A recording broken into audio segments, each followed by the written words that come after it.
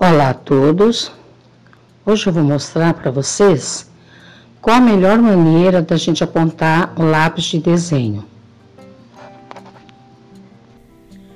O lápis de desenho deve ser apontado com estilete, porque o apontador comum deixa a ponta curta e essa parte chanfrada também fica muito curta. Então, a hora que você vai fazer o, o sombreado, se essa parte chanfrada está muito curta, ela acaba é, riscando o seu desenho. Então, é bom deixar ele, essa parte chanfrada maior. Na hora de afinar a ponta, a gente pode usar uma lixa de unha.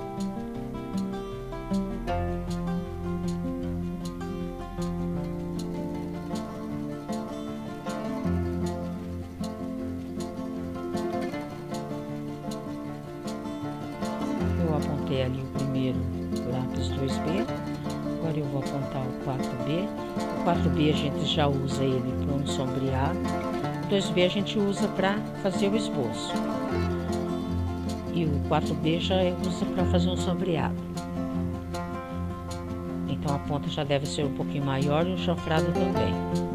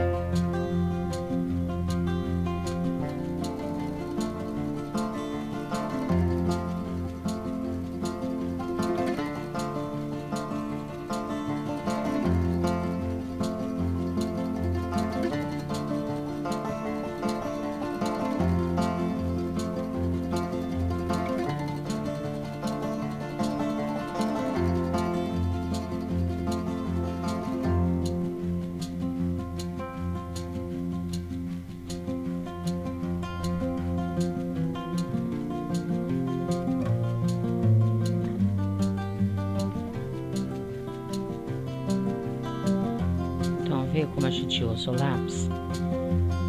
Sempre nessa posição para fazer o sombreado.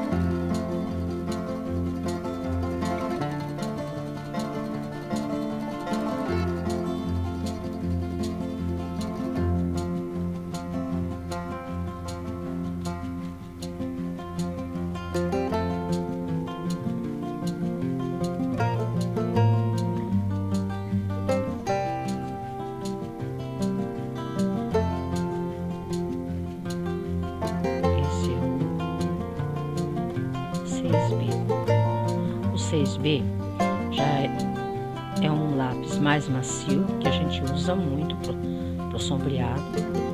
E a ponta dele deve ter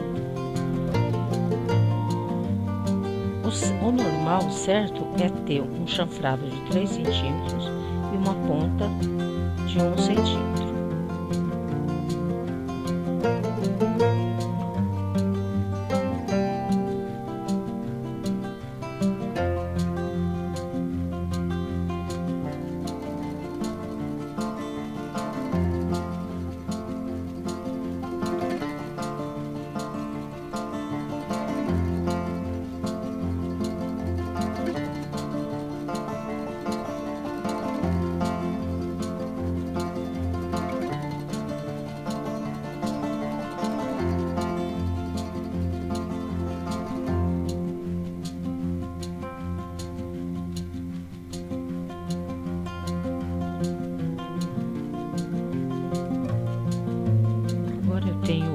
Lápis H.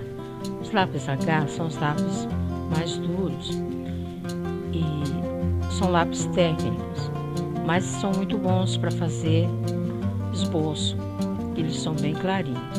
Então a ponta dele não precisa ser grande e nem o chanfrado também precisa ser tão grande. Eu tenho o lápis HHB 2, 2H 6H.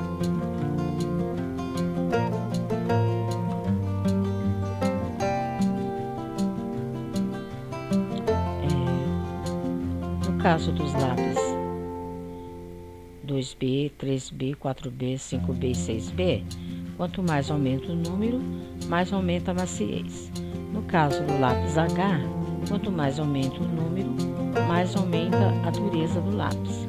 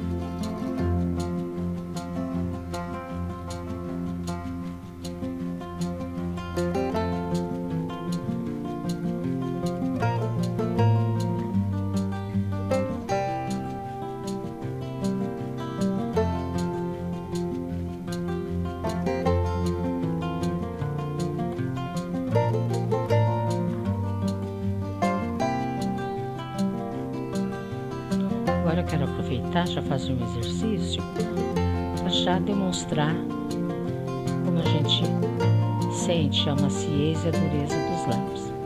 Então eu vou começar aqui com 6B, vou fazer um chanfrado primeiro.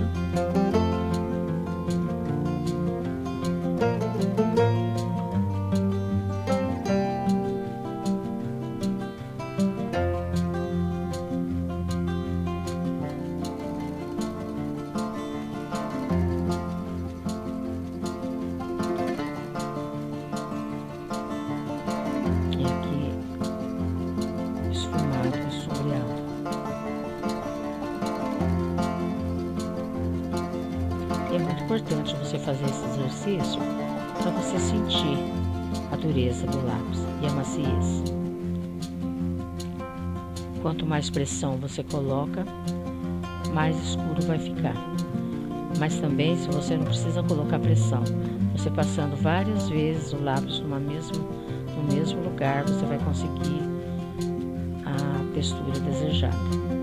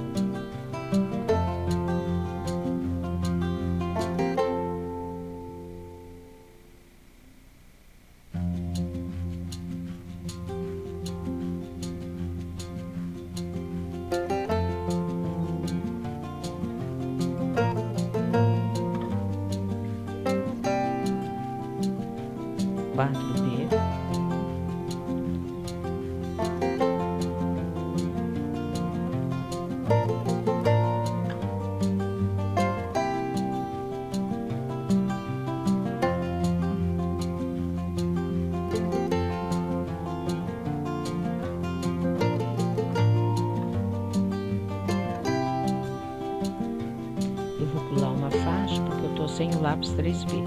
Então, eu vou direto